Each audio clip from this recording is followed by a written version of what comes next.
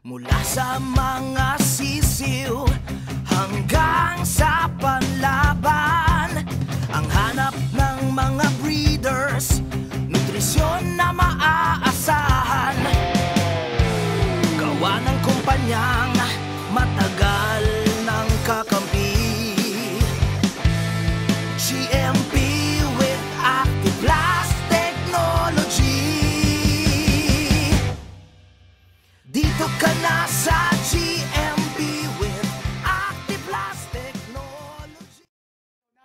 diri sa brooding area sa Manok ni Kimbat Game Farm. Inline gyapon sa sa awareness month na to.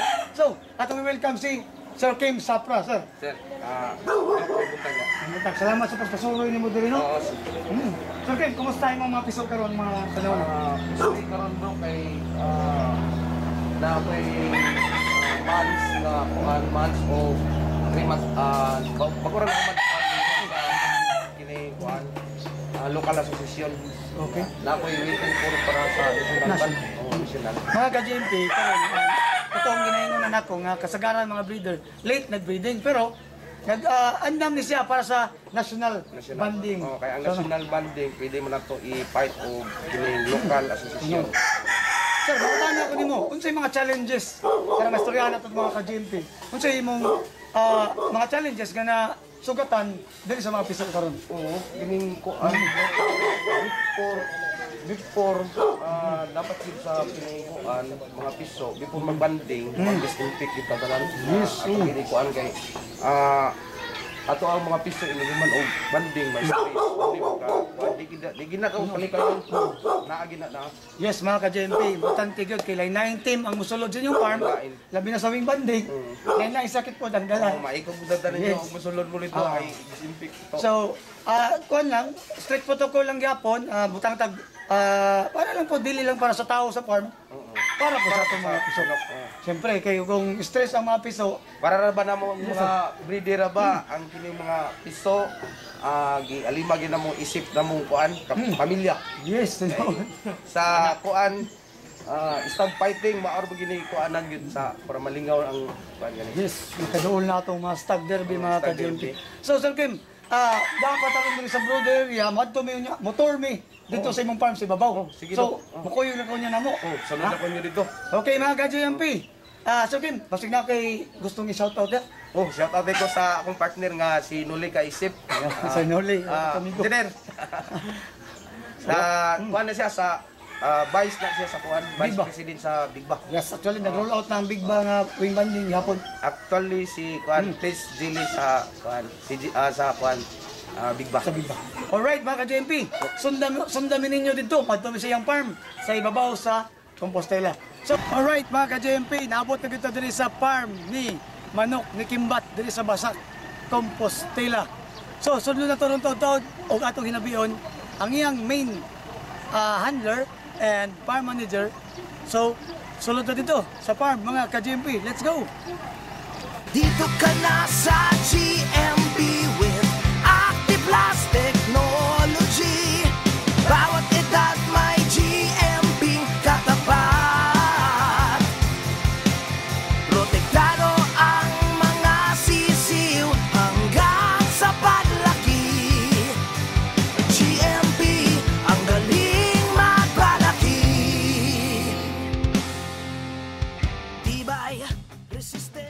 court area makita ninyo.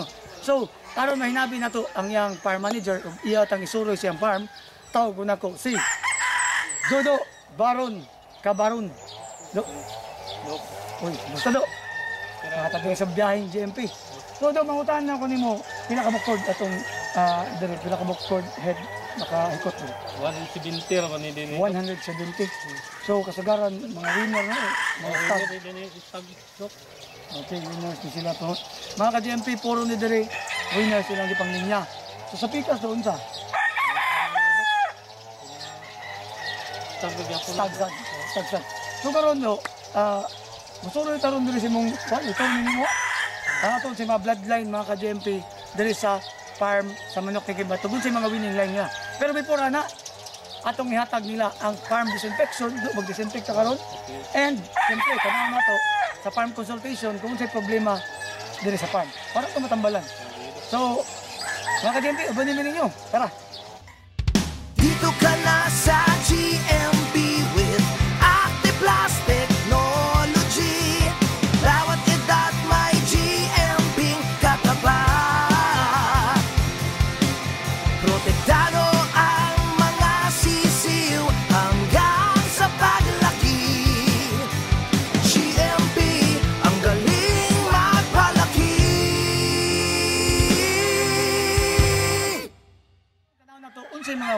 bloodlines dire sa farm.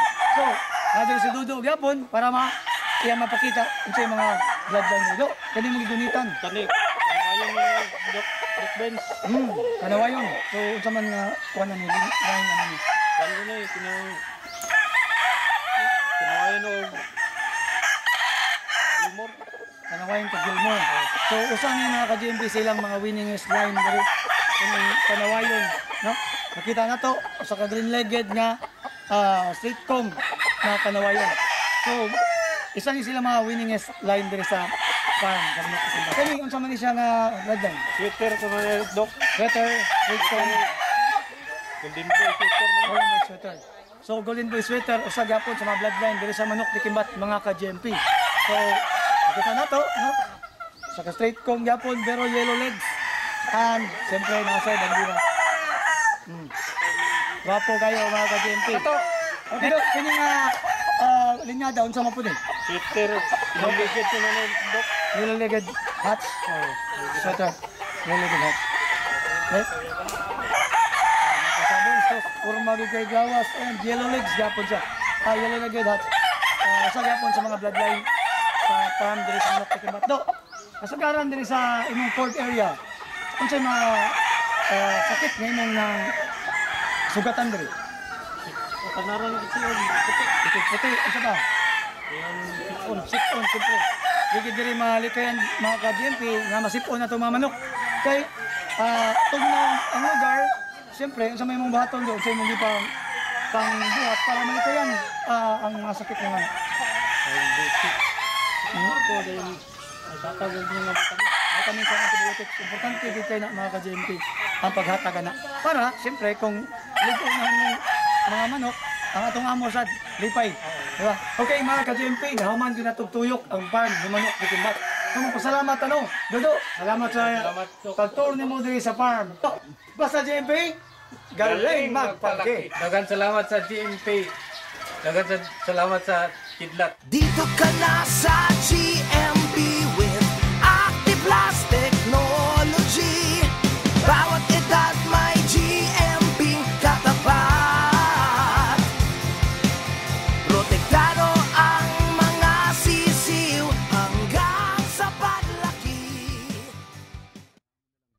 ubusin ng avian flu at Newcastle disease. Ang lahat ng pinaghirapan mo sa lilim ng mga pakpak ng Microban Avi Disinfectant. Iwas disease ang mga alaga mo. Ang Microban Avi ay scientifically formulated for birds. May tapak ng Avi Shield formula na humahagupit sa bacteria, viruses at fungi. Maghalo ng 20 ml ng Microban Abi sa isang galon ng tubig. Safe gamitin kahit nasa paligid ang mga alaga. Microban Abi, tapang laligtas sa alaga mo. Galing Univet, galing Univet.